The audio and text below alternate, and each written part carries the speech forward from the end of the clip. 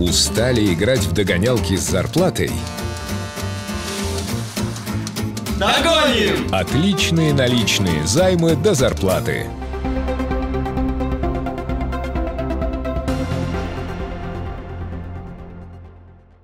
Сегодня в Следственном комитете Тувы представили нового руководителя. Это полковник юстиции Юрий Федотов. Отметим, что последние семь лет Юрий Федотов состоял в должности заместителя руководителя Следственного управления по Челябинской области. Сегодня он обозначил приоритеты в работе Тувинского управления Следственного комитета. Немного познакомился с, э, скажем так, с с криминогенной обстановкой э, Да, республика непростая, есть э, очень много своих особенностей. Ну, наверное, это интересно здесь работать, потому что ну, сегодня должно совместно получиться. Работа предстоит большая и серьезная. Также на мероприятии присутствовали руководители силовых структур и ведомств республики. В свою очередь Аяс Чуданол, заместитель председателя правительства региона, отметил болевые точки в криминогенной обстановке региона. Хотелось бы э, по, по, взаимодействие именно вопроса профилактики, именно первую очередь по вопросам незаконного оборота алкогольной продукции, незаконного фигурного э, бизнеса. Э, К сожалению, такие точки на территории республики э, у нас присутствуют. Работа, в принципе, в этом направлении идет. Есть определенные успехи, но прошу, чтобы особый акцент делали в этом направлении. Также Аяс Чуданол попросил нового руководителя о чутком и бережном отношении к местным кадрам. Напомним, Юрий Федотов приступил к исполнению своих должностных обязанностей 16 октября. Напомним, что с 2014 года Следственным комитетом Тувы руководил Андрей Потапов. В настоящее время он возглавил Следственный комитет по Красноярскому краю.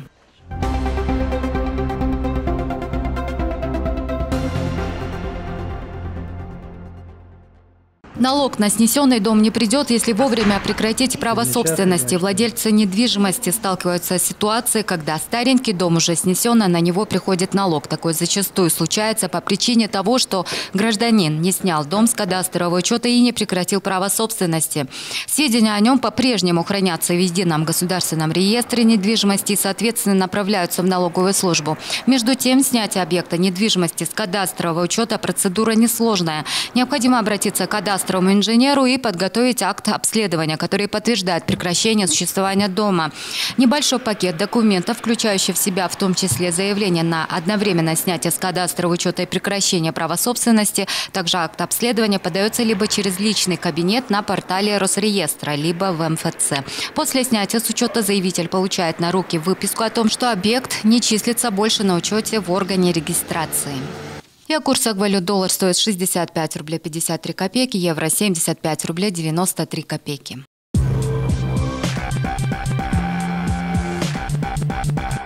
Займы под залог авто. Высокая оценка. Быстро и выгодно. Без справок о доходах и скрытых комиссий. 8 963 209 7000 ровно. Шубу купила, X-Ray получила. Шубу купить успей и выиграй «Ладу X-Ray». Приходите на выставку «Шубы на расхват». С 18 по 21 октября ЦУМ «Цокольный этаж». Встречайте! Стильная коллекция шуб от меховой компании «Герда». Город Киров. Вас ждут роскошные подарки. Приодеться тепло и модно – это просто. 21 и 22 октября – Центр русской культуры. 23 октября – поселок Ахем, Центр культуры. Травы Тувы сохранили рецепт пантового бальзама Бойдус. Мы улучшили вкусовые качества путем добавления ягод и ароматных трав, сохранив при этом все полезные качества, которые дарует нам природа. Консервантами являются сахарозаменители и сахар. С бальзамом Бойдус всегда красота, положительная энергия и сопротивляемость к невзгодам. Продукт пастеризован. Магазин травы Тувы. Чульдум 44. Овиол.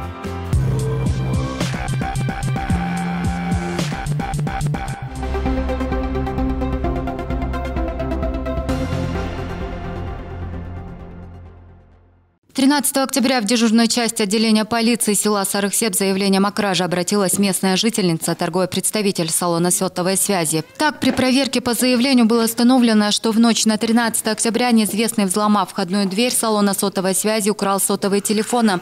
В ходе осмотра места происшествия экспертам-криминалистам взяты следы рук и подошвы обуви.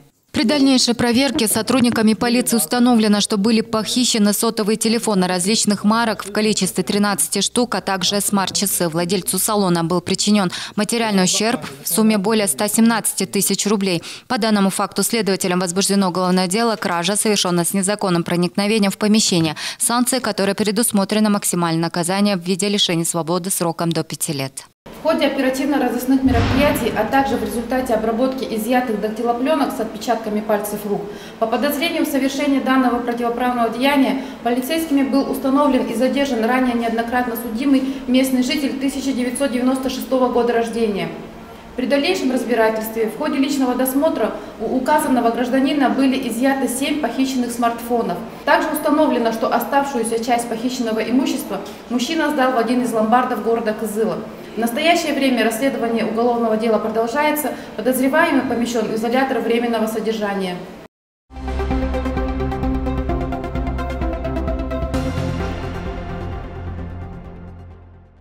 Минздраве Тувы по поручению главы республики началась проработка документов по защите проектов строительства онкологического центра в регионе оснащению терапевтического корпуса в соответствии с договоренностью с президентом Владимиром Путиным.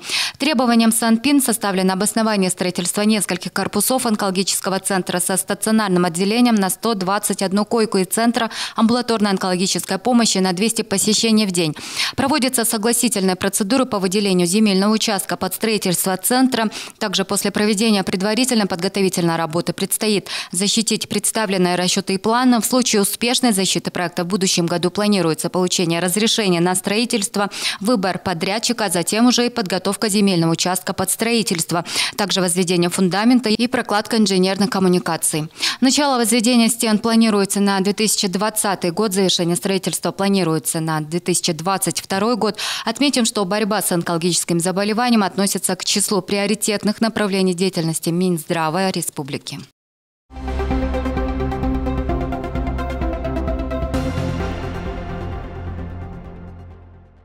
Сибирский государственный медицинский университет города Томск будет курировать проект медицинской кадры Республики Тыва. Планируется включить школьников Тувы в бесплатную дистанционную программу профессиональной ориентации.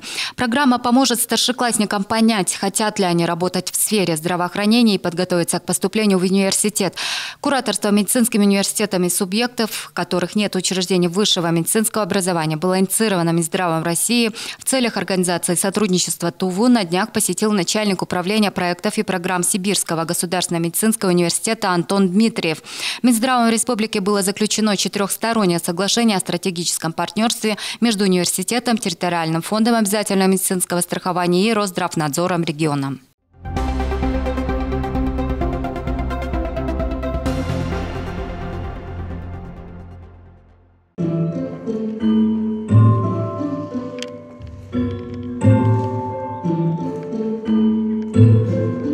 Танцы судьбы закружились главные герои спектакля «Обитель». Сегодня в Национальном театре имени Виктора Кокола идут последние прогоны перед сдачей первой премьеры этого театрального сезона. Спектакль «Уя» поставлен по пьесе заслуженного деятеля искусства Республики Челгача-Андара. В лирической драме действие разворачивается вокруг любовного треугольника. По классика жанра есть влюбленные, по другую сторону зависть и разлучник.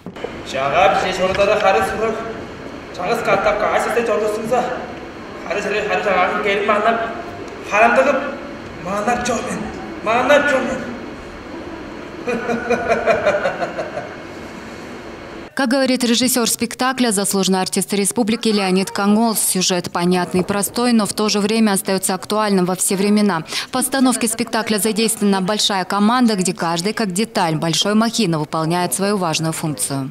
Очень кропотливая работа, там очень много работ э, не только режиссера, там э, бутафорного цеха, столярного цеха, от сапожника все начинается, от сапожника до режиссера. Там очень большая команда, каждый делает свое дело, и каждый нужен для спектакля. И очень много трудящихся невидимый фронта за кулисами очень много людей работает. Вот осветительный цех, радиосех, монтировочный цех, оператор, наладчики, очень много-много. За один выход актера там большая команда стоит. Уборщица-карьеристка так описывает свою героиню. Заслуженная артистка Тувы России Галина Мунзок признается, что за всю свою театральную деятельность впервые предстает в таком амплуа. Вы знаете, если так взять по моему опыту театральному, то такие вот немножко острохарактерные а, роли у меня, честно говоря, почти, можно сказать, не было.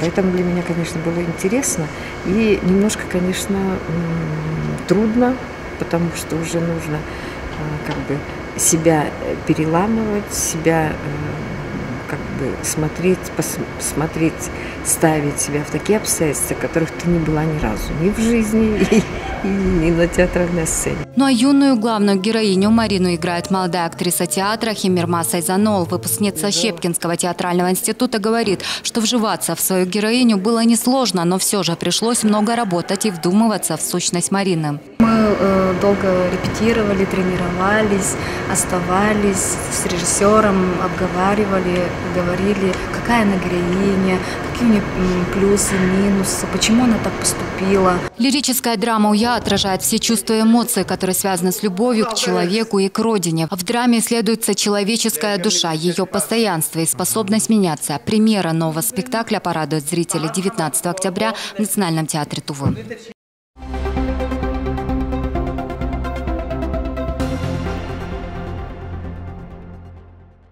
Московский театр «Мюзик Холл» продолжает радовать жителей Тувы очередными премьерами. Открыл новый гастрольный тур комедия «Любовный пассианс», которая была показана на сцене Национального театра республики.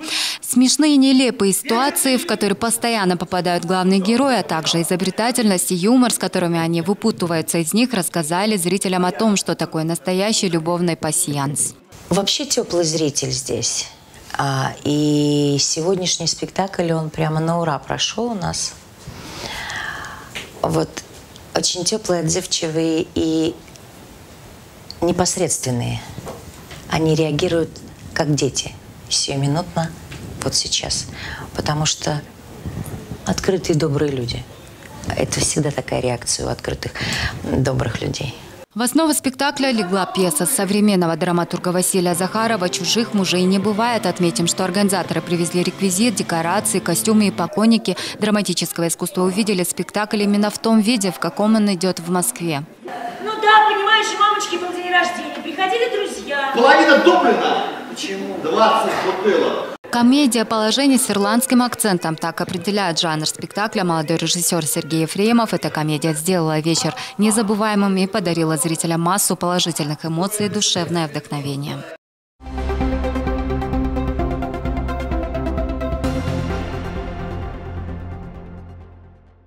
Найти в городе приз задачи не из легких, но не для слушателей радио «Голос Азии». Сегодня днем ведущие вновь загадали загадку, в которой зашифровали одно из мест города.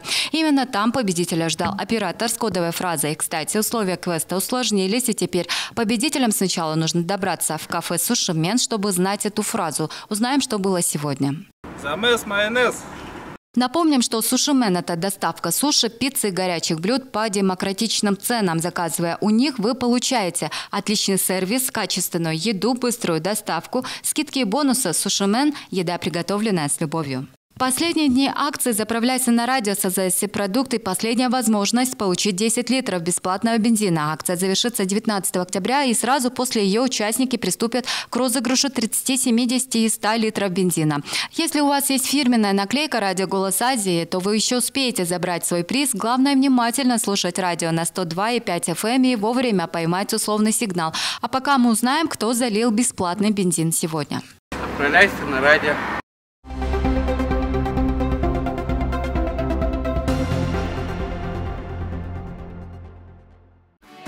Совсем недавно состоялось открытие нового магазина «Горо» по адресу Республика Хакасия, город Абакан, улица Некрасова, 45.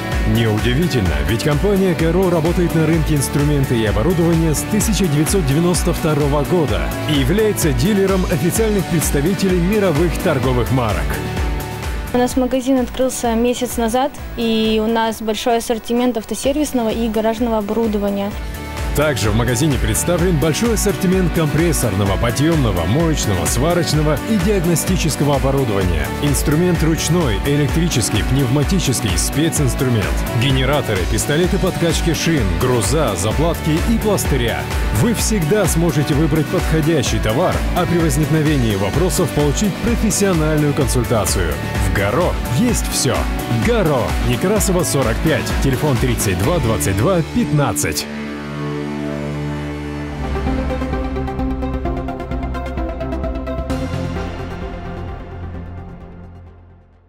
Очередной раз Кызыл посетила меховая ярмарка Герда.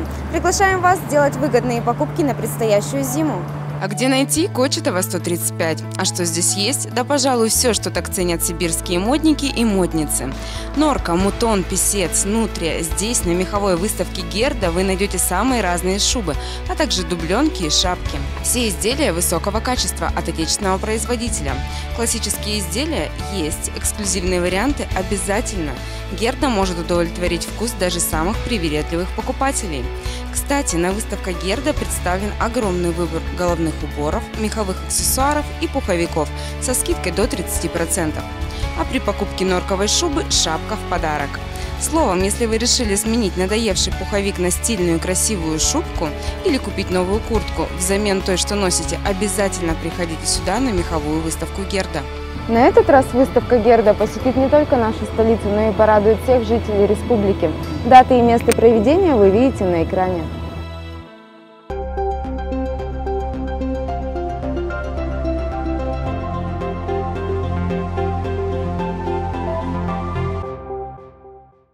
Каждый новый займ больше предыдущего. И каждый последующий займ еще больше. Отличные наличные. Больше займов, больше сумма. Спонсор прогноза погоды – компания «Отличные наличные». Компания «Отличные наличные» рада видеть вас в любом из своих офисов в более чем 80 городах России. От Камчатки до Калининграда компания «Отличные наличные». Получайте займы на займ-карту в любой момент просто по звонку. Каждый новый займ больше предыдущего. И каждый последующий займ еще больше. Отличные наличные. Больше займов, больше сумма. По республике ожидается облачная погода с прояснениями, местами небольшие дожди, мокрый снег в горах, снег, ветер юго-западный 2,7 метров в секунду, местами порывы до 12-17 в Кызыле. Облачная погода с прояснениями без осадка, ветер юго-западный 4,9 метров в секунду. Температура воздуха ночью от 0 до минус 2, днем плюс 13, плюс 15 градусов выше 0.